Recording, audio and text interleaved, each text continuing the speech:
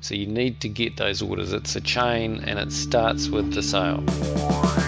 The biggest names in e commerce share tricks of the trade, from tools and software to strategies and growth hacks. Learn from the best and take your business to the next level. What are the actual tactical things that you're doing to attract people? Now, your host, JD Kraus. Hello and welcome back to e-commerce in the trenches. This is JD Kraus, and today I'm excited to have Halfdan Hansen uh, from jenshansen.com calling all the way from New Zealand. Welcome to e-commerce in the trenches. Hi, thanks for having me, JD. Absolutely. So it's like a little after nine o'clock in the morning there. Is that right? That's right. Yep. And springtime as well. Very cool. Oh, wonderful. We're obviously in fall. Uh, I just moved to Texas, and so we're missing out on the Colorado fall colors. I'm waiting for the trees to turn here and and we're excited about that. But it's like 85 degrees here. So um, anyway, let's get down to business. Uh, on e-commerce in the trenches, we like to focus on attracting, converting, and retaining great customers. And I'm super excited uh, to talk to you. Your business, uh, uh which was started by your father, Jens, uh, years ago, has a wonderful origin story. Would you would you just kindly take us into how the company was uh, formed and, and birthed, and, and then we'll talk about some fun stuff that has a lot to do with movies a little bit later. Sure, sure. So um, we've actually, I guess, uh, it's a family business. Um, I'm the second generation. I'm not. A, it's a jewelry business, and I'm not a, a jeweler. I'm a, a, a university-trained engineer by background, and I I spent 15 years working in the international oil and gas industry. So I have more of a kind of technical management background, um, but that can be quite good when you're running a business because you're not tempted to interfere with the the guys who actually do the work and, and produce things. Um, I just try and, and help facilitate them do a great job. Now, my dad was a traditionally trained jeweler and um, he graduated or started working for himself in about 1960. So we, we talk about ourselves as being since 1960. But I guess we really only got online and only got online in 2000. I think is when we registered our domain domain name. We were we were early to the web, um, and it ties back to the fact that my dad had been, although he had a traditional training as a jeweler, engagement rings, wedding rings, that sort of thing, he became known as the founding father of the craft jewelry movement in New Zealand, uh, what you might call an artisan jeweler over in the in the US. So he was making one-off pieces, crafted pieces, and he was very much influenced by the Danish 20th century modern style. Um, and he was written about in art books. He won art grants and, and all that good stuff, and and was quite uh, critically well regarded, if, if a small audience, and he has works in the National Museum here in New Zealand, that sort of thing.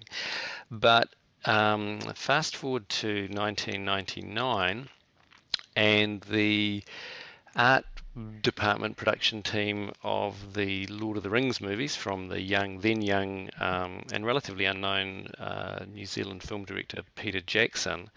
He um, sent out his team looking for the people who would create the various props and costumes that were needed for this kind of medieval fantasy epic that is Lord of the Rings and, and later The Hobbit.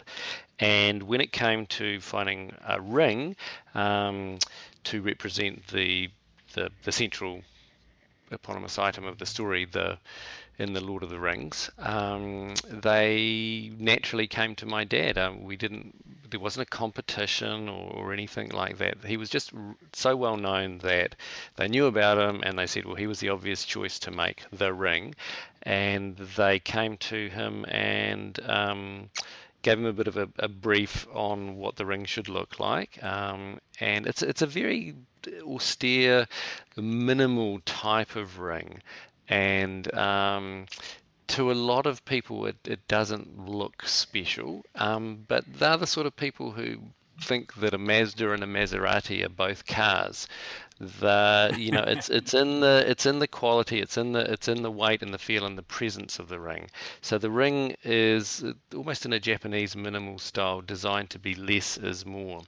Um, and it has a lot of gravitas and, and presence on the screen and um, and interestingly, in fact, it isn't engraved uh, at all in, in in the movies in the production, and there are only a few scenes in it that briefly appear as um, a special effect where there's engraving on the ring. But because all of the aftermarket movie uh, advertising um, always showed the ring with the engraving on it, people came to think that the ring always had engraving on it. But those true hardcore fans will know, and the people who saw the Hobbit trilogy later on will know that there are no, there's no engraving at all that appears in in, in the Hobbit trilogy of movies. That said, I've got to say that the the officially licensed um, the One Ring uh, replica ring that we make uh, for the Weta Company in Wellington has that's our best-selling item, and that um, does definitely have the famous Elvish engraving on the ring. Um, so that's kind that's so of cool. the the nutshell background of we were a jewelry business, and uh, we were involved in the making of uh, the One Ring for the Lord of the Rings.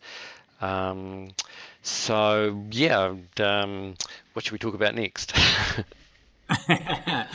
Well, something that jumped out to me, and uh, and I, I, did ask your permission before we started recording, uh, that uh, had to be had to be hard, but also. Um, well, you just tell me how you feel about it.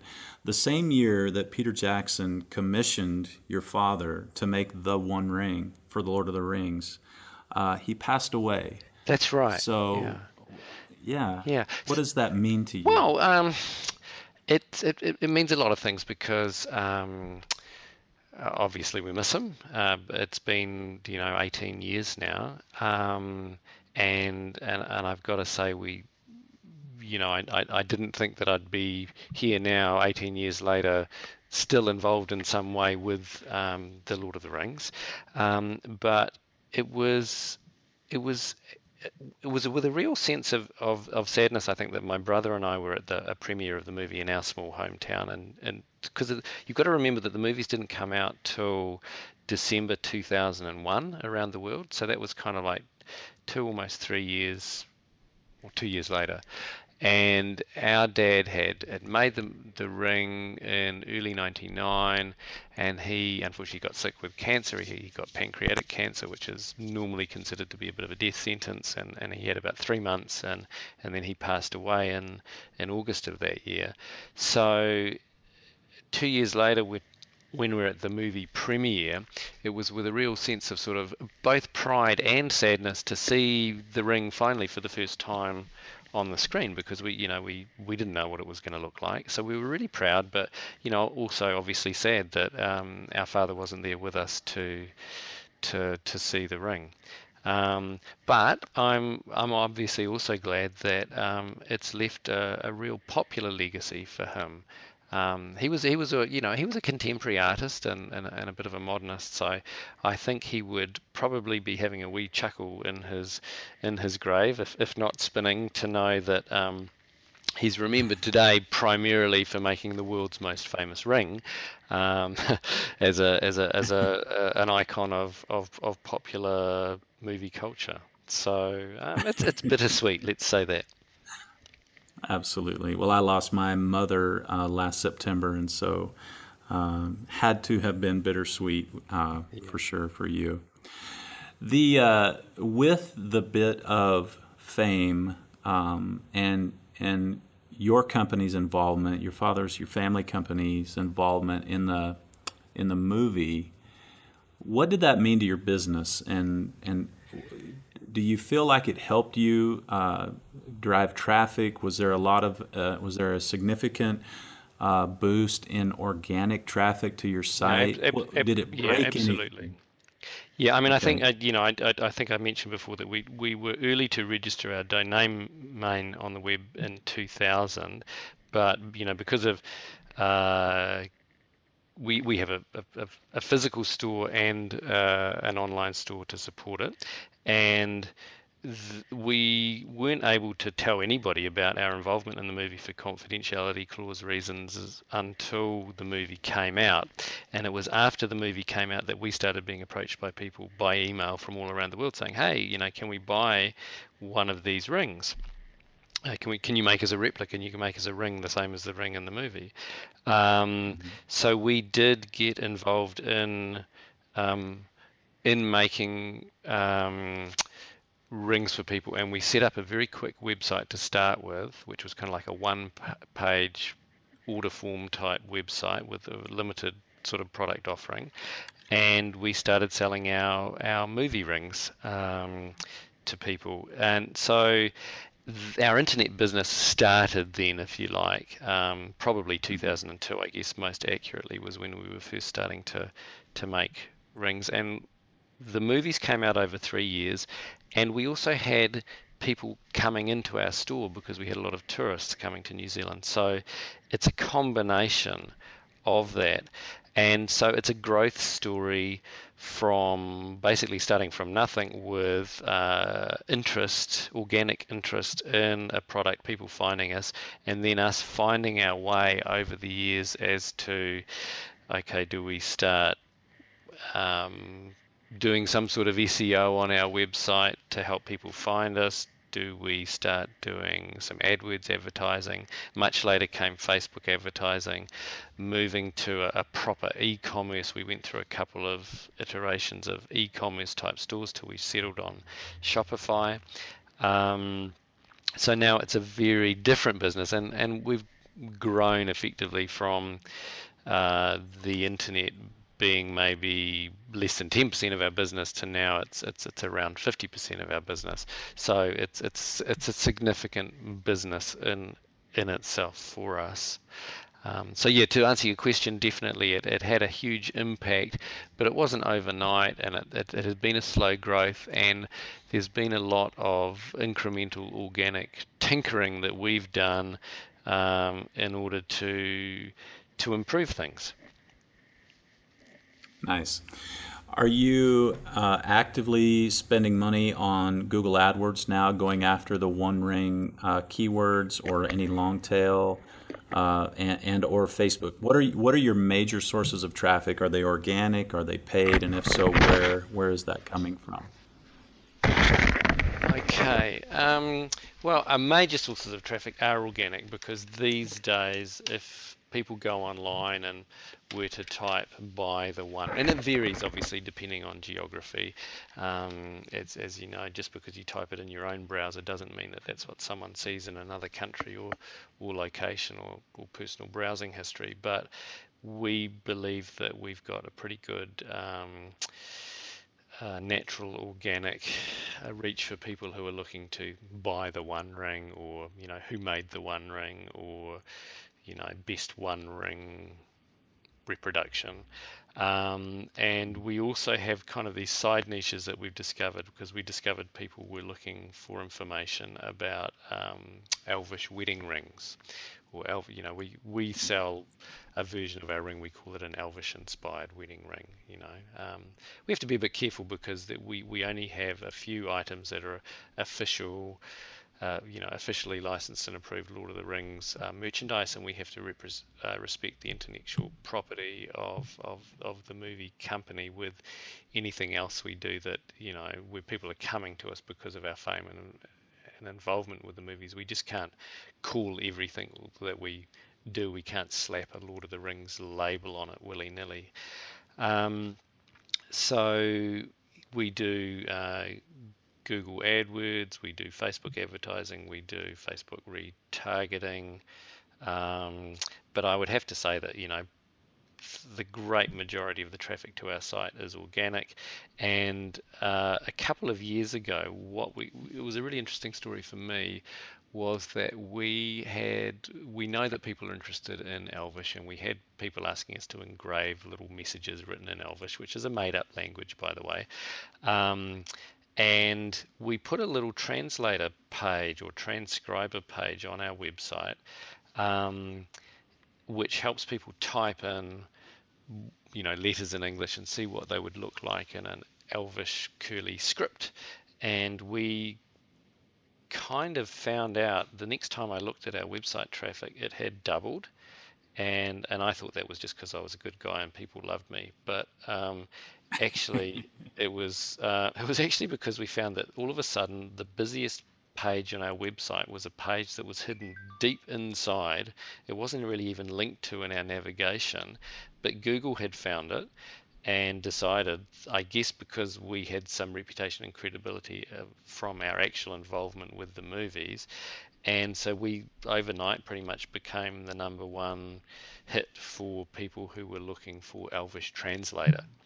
And that probably meant a heck of a lot of people who were actually looking, I don't know, 12 year old high schoolers looking to do their project or something at school, or people who wanted. I think a lot of people are looking at people who want an Elvish tattoo because I believe those are very popular. Um, and so we're getting a lot of probably what you call a lot of traffic, but it's probably quite unqualified. Um, so the first thing that we we sort of thought was okay, how do we you know how do we filter out the people on going to that page who might actually be interested in our product? So we started uh, linking the product through from our, our, our, our homepage menus. We started putting stuff on the page explaining what this tool was and wasn't. We we warned people not to get tattoos with it because you know we it's it's um, you know it's not a real language, folks, and um, there are lots of different um, interpretations as how best to do it, and we didn't want to be responsible for for someone sort of putting something on their body that that would be hard to take off. Um, but um, it's it's something where now what we do is we offer on the page a little um, a white paper for people to download to teach them to write we call it, you know, learn how to write Elvish in five minutes. It's kind of Elvish 101. And we then start um, giving people, we deliver that by Infusionsoft and have a, a, little sequence in Infusionsoft where we then start to soft market to them to explain more about Elvish and to sort of ask them if, you know, uh, have you ever imagined what would it be like to have your inspirational quotation, a message to a loved one, on our what we call the world's most famous ring on on the um, the exact same shaped ring uh, made by the same guys who made the the ring for the Lord of the Rings movies, and so we probably get about a one percent conversion rate on that. Um, but the thing is, of course, that wedding rings are you know, solid gold wedding rings are a, more expensive item than a souvenir ring. So our average sale is probably around a thousand dollars.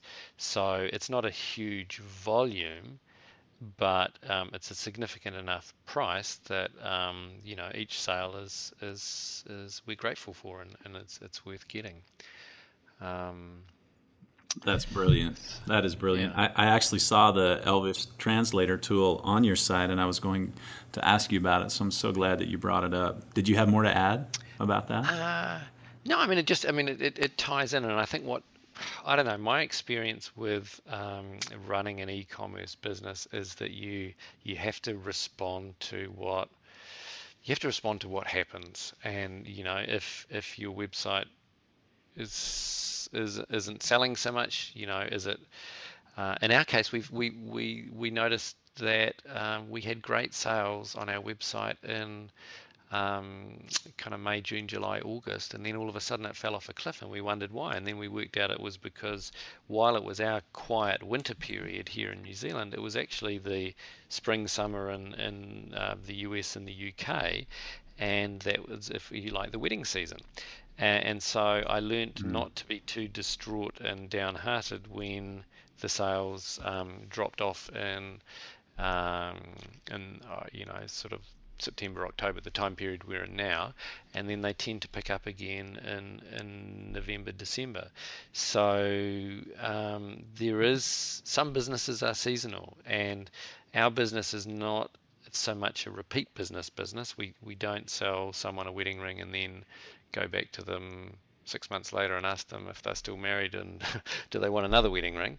Um, so, so we do have to rely on constant new business, but also at the same time, you know, we've known for, for years and years that we needed to do better at figuring out some way of generating repeat business. So we did also use another Infusionsoft sequence to, um, and this is um, the, based on the template of the revenue conduit slash uh, Unific um, system um, of uh, repeat business, which involves um, a, a, sequence in Infusionsoft and tracking people through and systematically going back to your customers, talking to them, emailing them, asking them how they found the product, and um, suggesting new products. So we we have that running now. It, it, ticks away in the background. We we make various offerings to people to encourage them to to come back to us and buy something different uh, or even to, to talk to us about their experiences and, and, and that can help in terms of generating reviews if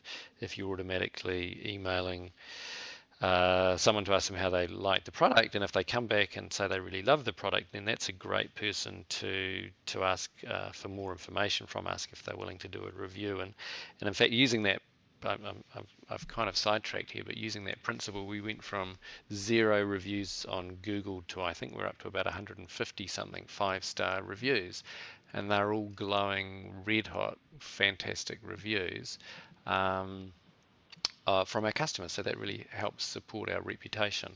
So, in terms of the the asking for a repeat business sequence that the Infusion guys, soft guys um, sorry, the revenue conduit guys helped us set up an Infusionsoft, that also generates about a percent uh, of, of conversion. But again, those conversions are they're all good, great sales, and anything that's running in the background 24/7 that you don't have to, to look at. That's what that um, uh, e-commerce uh, automation is, is all about. So it, it's all helped us. They're all bits of the puzzle that have helped uh, improve and provide a, a, steady flow of work. Because at the end of the day, this this stuff is is being made in our workshops. Um, we get the order, whether it comes in off the shop floor or, or, through the internet, and then someone has to actually make this product. It's not a virtual product; it's a real physical product made made here in New Zealand, and um, it can take some time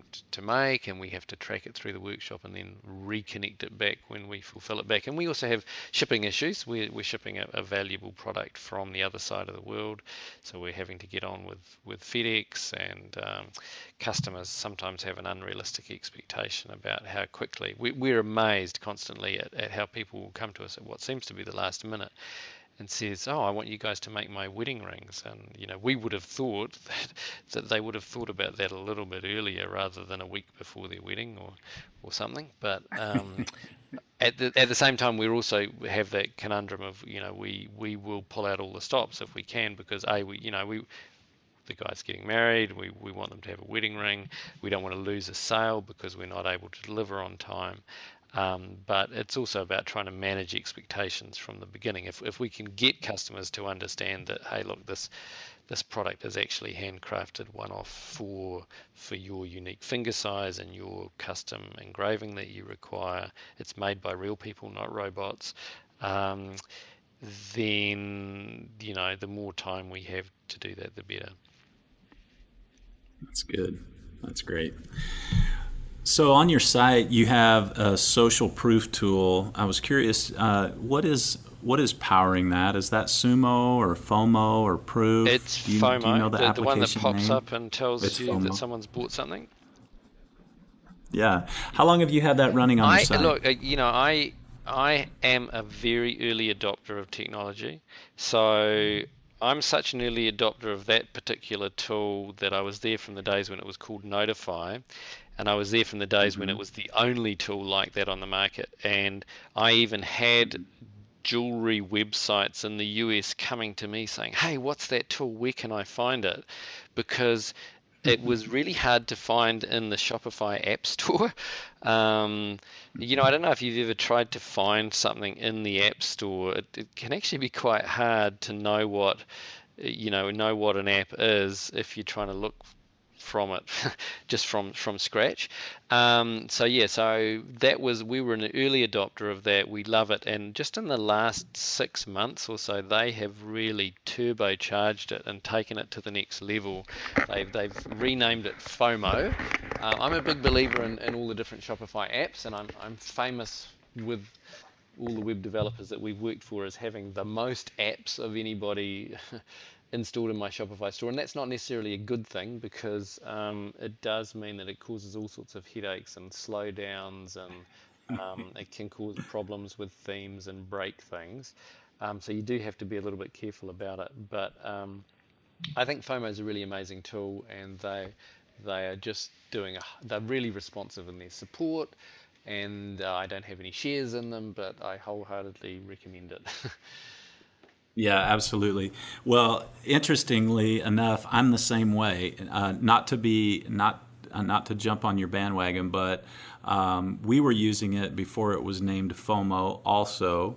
Yeah. And I love it. I think uh, the little reminder of just a little social push. When I was on your site earlier today, somebody in Brazil bought a, a beautiful silver uh, ring. And of course, I saw that flash up in the upper left on my uh, desktop, and I had to click on it and go on over and visit that product. So uh, it does a great job, time on site and internal uh, navigation in and around the site. Uh, we we have we have really seen it increase time on site and conversions on our on our store as well. I'm I'm sure that you have as well. Yeah. Yeah, it's always hard to know. I mean, it's it's that old chestnut of you know which fifty cents of my advertising dollar actually works, but you know I just intuitively get that that what it does. Um, you know, when we talk about social proof, when I you know when I talk about social proof, um, I think it's like to me it's I've got someone potentially who knows nothing about me. They don't know our backstory just because my dad is world famous in our hometown uh, certainly doesn't mean he's you know he's really world famous. Um, and we get people looking to spend what could be you know thousands of dollars um, you know, who's going to send me thousands of dollars over the internet to a, you know, a foreign country for most of our customers? And I find that uh, FOMO as a as a social proof tool, what I love about it is that it's actually popping up and it's showing, hey, these guys are these guys are alive and kicking. This isn't just some dead website um, that was made two years ago. And you know, if I place my order, is it up to date? Is there anybody on the other end? Is my money going into a black hole? But they can actually see that, hey, look, these guys are they're ticking, they're selling, they're selling these products, and they are shipping them to countries like mine or um, all around the world. And I think that's that. It's that trust stuff, and I'm sure that you know, a large part of the reason that we've been successful on the web is that we we're piggybacking on the reputation and credibility that we've got um, from being involved uh, in the Lord of the Rings project, from my father's, um, you know, backstory history in in New Zealand, and reassuring people that you know we are we're legitimate and um, that we we if if people read the reviews, you know, the, the you know what the hardest thing is to to sell I think is is to sell that you give great service. Because if everybody says they give great service, you know, everybody says they get great service and everybody just dismisses it and takes it for granted, but the you know the fact is that if you read any of those 155 reviews five star Google reviews that we've got, the overriding theme is that our service is really amazing. And you know, I don't think our service is amazing, but you know, I think I know why people think our service is amazing, and that's because we are humans and we talk to people. You know, so, and we can the the the you know, unlike probably a lot of e-commerce owners, we've got an advantage because we're only selling a few items a day, right? Um, mm-hmm. So when you're only selling, you know, you know, 100, 200 items a month, it means that on your on your e-commerce store, it means that you can um, really be giving uh, your online customers the attention that they need, and you know that's because we're selling a high a high dollar value product, um, and so people love that a real person, whether it's a, you know we have a chat service which is a, a real person. We mm-hmm. we answer our emails typically you know within a working day, uh, sometimes sooner because of the time zone differences, and we know what we're talking about because all the the you know the people are working here on site they know the product intimately and they give intelligent answers. I've, I've got to say that you know we're english speaking so we give our answers in english and and that's probably why most of our customers are in australia england the us canada. Um, but we sell a lot to europe as well. Um, so i think people really really really appreciate being able to correspond quickly with someone who knows what they're talking about and, and can answer all their questions. And, and I do appreciate that not all e-commerce businesses are going to be able to do that if they're trying to shift high volumes of, of a lower value product. Absolutely. How do you view competition? When I when I do a Google search on Lord of the Rings rings or the One Ring, uh, there's all kinds of price points. And sure. I'd be particularly interested in how you view Amazon. Um, but but competition in general on that product and and Amazon, if you could. Yeah. Well, okay. I mean, I mean, obviously, we as as a jewelry business, we make all sorts of things, not just um, our you know our official Lord of the Rings related products. But uh, you know, thinking about the e-commerce, it's true that in, in our in our e-commerce business, the majority of that is in some way related to um, the Lord of the Rings. And when I, you know, we make a US $99 gold plated um, souvenir style ring. It's an official ring that we make for the Weta Company um, in Wellington. It, we, we call it the world's uh, most accurate replica prop ring. Um, and we're certainly aware that you can go on Amazon or anywhere else and probably find something that purports to be the same thing for, for 10 bucks. Um, I mean, mm-hmm. we, and again, what I'll, I'll go back to two things. I mean, one is that the sort of, unfortunately or fortunately, those replicas that we've seen, they don't actually take the trouble to rip off our exact design. Um, they don't get the writing right. I mean, I don't know how stupid they are. You know, if you're gonna if you're gonna replicate something, well, you would want to actually make an exact replica of it. They just sort of take any old ring and put some writing on it. Um, which is not to say, I mean, what I'm talking about is the ring that we made for the movie, and right. so you know, I don't think that those people necessarily, the people who are buying from us are the people who want to buy the exact same shaped ring that was in the movie from the guys who actually made it. And we we have two types of customers. We have the customers who are buying the, if you like, the the the lower price point souvenir type thing, and then the people who are looking at actual solid gold wedding rings. You know, they're people who want a wedding ring, and typically people have, I think, a lot of emotion around a wedding ring. They want something made, hopefully of solid gold that's going to last a lifetime, that's going to be adjustable and sizable, made of traditional materials that someone can service and work on over the years. Um, so I think the most important thing in the coming, you talk about competition. Um, I think the most important thing and where we've had the most success on our website is really focusing on our value proposition. Um, and I'm a huge fan of the guys over at marketingexperiments.com. Um, and I really believe in their um, value proposition methodologies. Um, and this idea that you know the most important thing that you can and I you know I'm not perfect at it but I really believe that in their idea that you in everything you do every piece of communication every page on your website should be answering in your prospect's mind the question of why should I buy this particular widget or service from you and not your competitor. And mm-hmm. so it's about getting clear on what your value proposition is. And um, you know and also as an e-commerce owner you, you can't do all of this stuff yourself. And I I was actually the guys at Marketing Experiments approached us because our website had some um, popularity said, "Hey, do you want to work with us?" And I'd say, "Yeah, hey, that's great, but I probably can't afford it." And guess what? I couldn't afford it, you know, because you know you you have to be spending you know six figures on advertising and probably seven figures or more on revenue before they'll get out of bed and talk to you. But the great thing about the guys at Marketing Experiments is they work with the bigger companies, they find out what really works, and then they publish it all for free.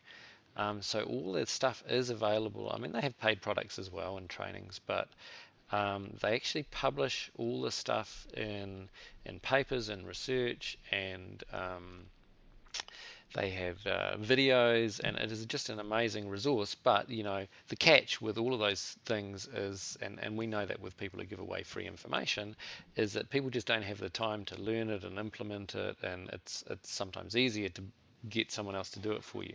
So I went looking for someone who could help me, you know, delineate my value proposition, and I went searching uh, and looking for someone using the same language as the marketing experiments guys and i found a guy in sweden uh, in finland sorry named peter sandin and i've had a long relationship with him he's a, a relatively young guy who just has an amazing ability to define clarity um, in in one's messaging. And, and the beautiful thing is when you can clearly articulate what it is that your product uh, does and, and sets you apart. Once you've got that, then you can use that in all your marketing.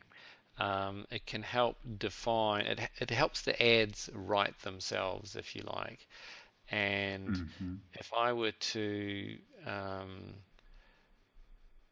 you know, on we have a page on our website about Elvish inspired wedding rings, and I we've we've followed uh, a template that the marketing experiments guys um, found and and put out there as being, hey, look, this is our recommended template. We think this works, and um, on the page it basically has a title, Elvish inspired wedding rings, and then the the sub headline is the most authentic and unique Elvish wedding bands on the planet. Um, there's a, a, little picture on the right hand side that shows what the product is, um, and then there's some some feature points, and we say it's the only one with the unique replica ring shape. Um, it's exclusive to us and it's custom engravable and you know the the subtext is to have the jewelers who made the the movie ring for Peter Jackson's movies handcraft your own uh, unique wedding ring. So that's you know I've taken a long time to say that but that's kind of the text on the page. And I think it really it's you know it's not a slogan it's not a buzzword it's not a, an outlandish claim it's factual. And it's telling people that hey, you know, this is these guys actually made the rings for the movies. They can make it for you. It's exclusive to them because it's about uh, the marketing experiments guys will tell you that it's about um, uh, exclusivity, um, uh, desirability, and credibility. Those are the, that's the holy grail uh, trifecta. So if you have all of those three things, um, you're onto a winner. Now, we have something that's arguably exclusive because only we made that particular version of the ring you see in the movie, and, and therefore we can claim the exclusivity of, of the shape. Um, it's we have the credibility from all the reputational uh, information that's out there. It's you know it's, it's it's in the written record that we were involved with with it. Um, and the desirability, you know, it is a niche. Obviously, it's not um, something that every everyone wants. And I, you know, I love the the marketing experiments guys uh, use a, an analogy of look. Uh, the, the, of the the hair loss snake oil salesman, you know, if you go out there and claim to have right. a product that will instantly reverse hair loss, male pattern baldness, whatever you want to call it, then um, that is going to be uh, highly desirable, probably exclusive because no one else is claiming that, but it's not believable, it's not credible. Um, and so most small businesses will have one or two of those claims to fame, and very unusually would they have three. And therefore, your challenge as the with your marketing hat on as an e-commerce business owner is to try and figure out, okay, what, you know, my products and services, how can I describe clearly what they are um, so that my customers know why they should choose me over my competitor and also so that it's clear to them and to answer those questions is you know is this is this believable? Is this credible? Is this desirable? So if your products or services uh, don't tick all of those boxes then you better figure out um, a different product or service or you better figure out a different way of uh, painting your message because um, that's the thing that's ultimately going to have those people choose you over over something else. Very good. That's that's like a uh, there's people that charge three thousand dollars to go to a seminar to get the marketing lesson that you just dropped on us. yeah, that was good stuff. Yeah, it's really good. Um, a couple, I mean, just a couple more technical things on your site as it pertains to growing your list is uh, I love your newsletter opt in and where you have the simple survey uh, questions underneath of it. How do you leverage that to uh, be able to segment and better talk to okay. yeah. better Look, talk to your, your people? So, you know, I'm going to be honest and, and say that I'm embarrassed to say that we don't use it as much as, as we should. You know, we you know, it's one of these things we That's great. yeah. You know, you know that in theory, you know, there's lots of things that we know we should be doing on our sites. Um, we know we should be doing all these things, but we there, are only so many hours in the day. There's you know only so much budget you can put on things. So we've built the form. We appreciate that you know the more questions you ask people, you increase the friction and the and you know decrease the likelihood that people are are, are going to do things. But you know we know we should have it, so we're kind of persisting with it. But the great thing is at least you know the fact that they're segmented in there as long as I don't leave people too long because obviously if you leave people too long then your list gets old and stale and it doesn't really matter anyways um, but at least we're acquiring the information so that you know when we build the next sequence in Infusionsoft um, we can um, we can you know utilize that information because it's clear that we do have a lot of people that are um, not necessarily we a lot of people are interested in Lord of the Rings, but we also have a lot of people who are maybe more interested in the bridal market or what we call a contemporary jewelry market, and they're three quite different things, and they don't necessarily overlap. Um, I mean, what I will say, I mean, one thing that we've done along those lines, which we are actually doing actively now, is for a long for the longest time in our store we we recorded people's customer details when they came in the store and bought something, you know, because they're buying an expensive product and we want to be able to service it for them, or they might have an insurance claim. So we said to people, we called it our insurance register and said, look, you better give us your name and address and email um, so that, God forbid, if you were to lose something, we would know what it was because, you know, we've been in business for so many years and we'll have people come in and say, oh my God, your dad made this for me 25 years ago and it got stolen in a robbery. And and we say, oh, okay, what was it? You know, and they say, well, it was a ring, and it was made of gold, and it had some curvy bits on it. And so we've learned a lesson over the years that you know you need to know exactly what you sold them.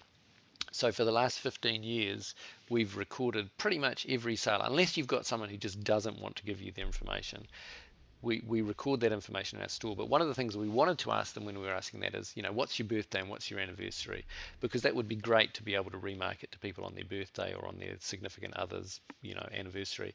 But ask that's kind of a personal question sometimes, or it starts feeling invasive when you're asking people that um, in a retail store setting and you know we knew we should do it it was on the form it was kind of random whether people filled it out or not or whether we asked for it or not um, but then we hit upon this thing and we just said, okay, well, let's, we, we, we email people their receipt.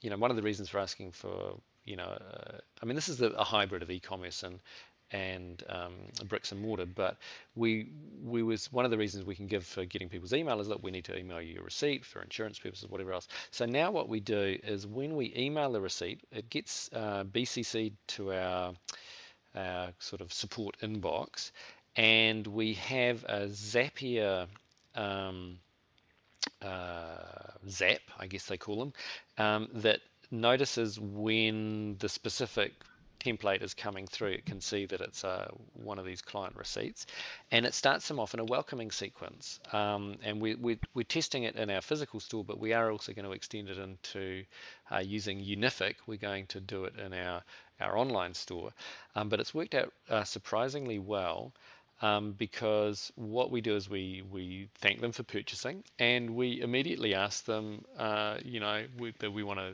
get to know them more and would they be happy to share their birthday with us.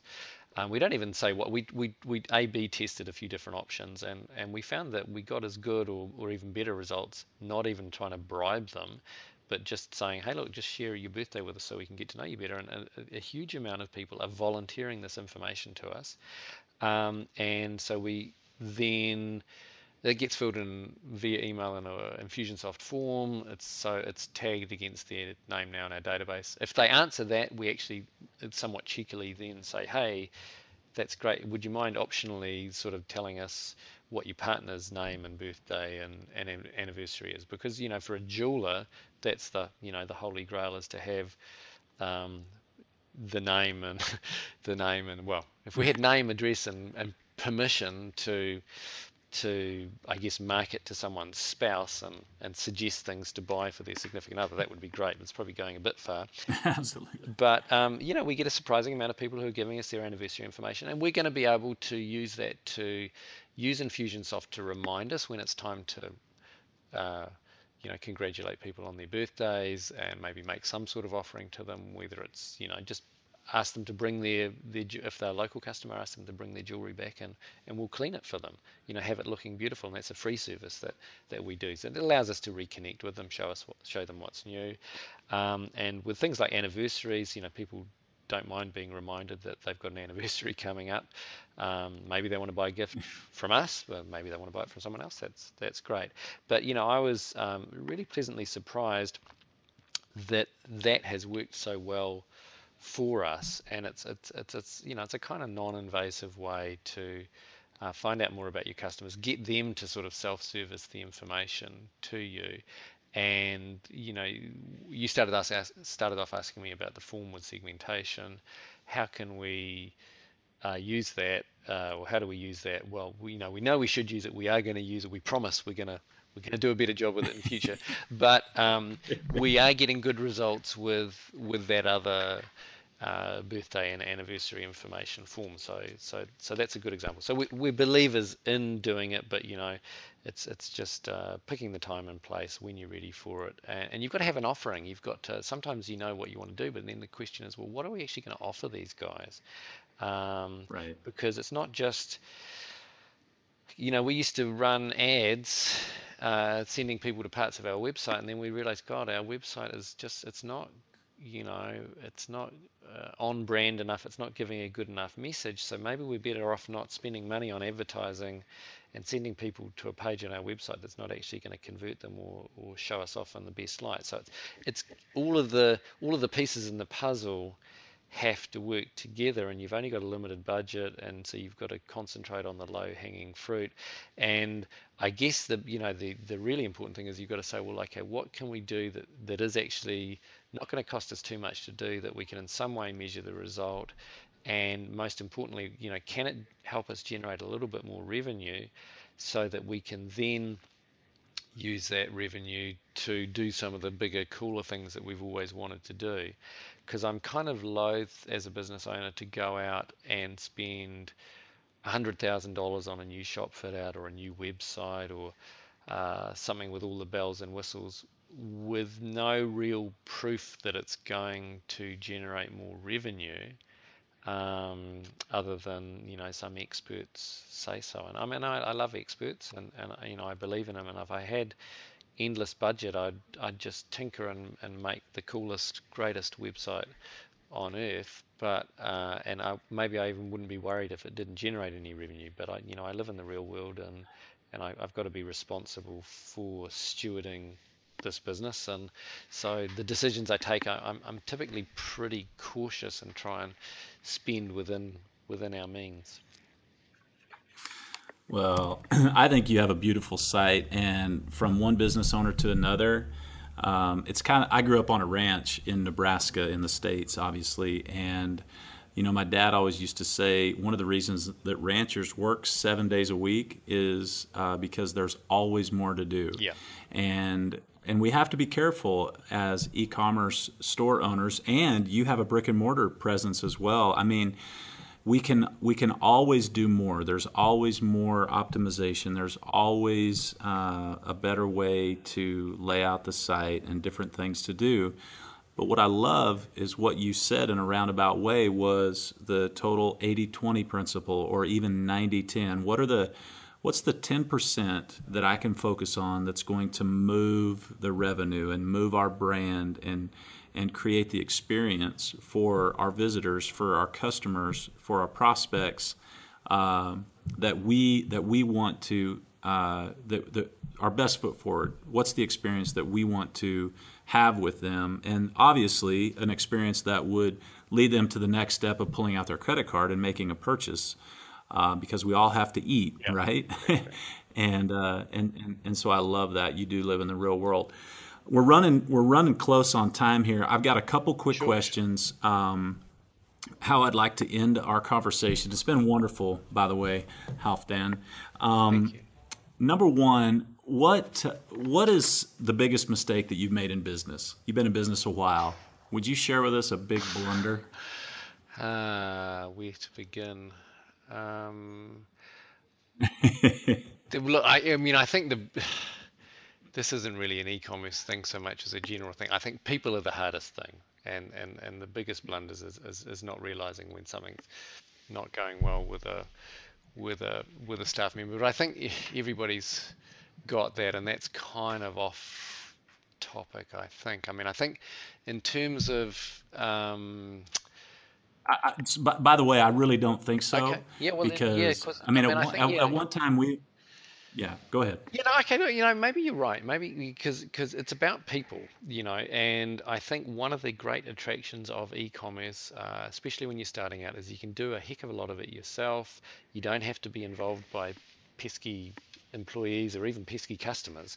You, you know you're somewhat um, separated um, by between you know the, you've got the computer or the web between you and them. But um, cust, you know, if you don't service a customer right, they can create a lot of trouble for you for your reputation and brand. And if you have the wrong employee or the wrong service provider, you can spend, you know, I've, there was a, a, a, company, great local success story company here in, in New Zealand that was sort of punching above its weight, selling a, a new super sexy Instagram type social media tool. Um, and I allowed myself to be talked into spending, you know, a couple of thousand dollars a month with them, um, uh, mainly because they were targeting really high-end corporations and not focusing on small business. But because we were, they were kind of local to us, we got involved when we thought it'd be really cool, and we spent this money with them. And so, you know, th- there was no obvious way to measure the, the revenue. It looked really cool, but, you know, we didn't get much out of it. And, and with a lot of those uh, e commerce products, then it's really easy to, the big mistake is not to, to cut your losses. You're throwing good money after bad and and and a lot of e-commerce businesses are trying e-commerce service providers are trying to sign you up with your credit card and it's a it's a slow death of a thousand cuts every every month you get that uh, new cost on your credit card. You don't notice it. Every month you're thinking oh I really should cancel that. And I mean I guess the, the best advice I could give is look just don't think twice. Just cancel the credit card subscription for that particular service. You know if you really need it and miss it you can always get it back later on but you can't get those dollars back easy. That's right. Great, great advice. Um, that may have been that may have been the one thing I was going to ask you if you could distill your experience down to one thing that it takes to be successful. What would you say that would be? I don't know. I'd, I'd, say it's you know it's being honest and providing great service. um, but it's actually you know I think it's marketing. You know I think really um, in, in, terms of selling a product or a service, um, you can have the best product and service in the world, and if it's not correctly marketed and and then sold, um, you know, your guys and girls who are, who are delivering that service and product, they you know they don't have anything to do. So you need to get those orders. It's a it's a it's a chain, and it starts with the sale. Excellent answer. Of course, that comes from a marketing guy. Um. So, uh, Halfdan, thank you so much for our time together. Where's the best place for people to learn more about Jens Hansen? Uh, well, I guess our website, which is jenshansen.com. Yeah. Um, it's, uh, it's, a, it's actually, you know, what's interesting, uh, we have now, I'm, I'm kind of proud to say that we have taken my dad's name, uh, which is literally the Danish equivalent of John Smith. There is at least a quarter of a million of them in Denmark. Uh, and we are now on Google by any measure the most famous Jens Hansen in the world. So uh, if I've done one thing for the legacy of my father, it's I've made him the most famous John Smith on the planet. that's, that's fantastic. Well, wonderful. I have to tell you, uh, if, if, if your uh, friend Peter helped you write the script for your um, on your About Us page on that video, uh, or if you came up with that on your own. Uh, the video, yeah, we love the a, video. Yeah, yeah. It's fantastic. And most excellent uh, visual display of artisan craftsmanship. You you you just spot on. I, I, I want to come visit you. We are coming to New Zealand in the next ten years, and I want to come to your shop and I and I want to obviously shake your hand and um, see what you guys are all about. But excellent work. That's great. Thank you so much. It's been a pleasure. Yes. Thanks for our time together. Uh, thanks. If you're listening, uh, be sure to uh, give us a rating on iTunes and uh, share this with friends. Um, that would be wonderful. And uh, go check out Jens Hansen. That's J E N S Hansen, H A N S E N dot com. And uh, check out the Elvish Uh, translator tool. That's pretty cool. And uh, until we talk again, Halfdan, thank you again, and we will talk soon. Thanks for listening to E-commerce in the Trenches, brought to you by Unific. Visit unific.com to start turning your receipts into revenue through highly segmented order confirmation campaigns and more.